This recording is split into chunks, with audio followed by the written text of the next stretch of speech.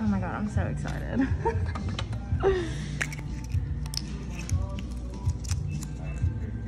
Cute.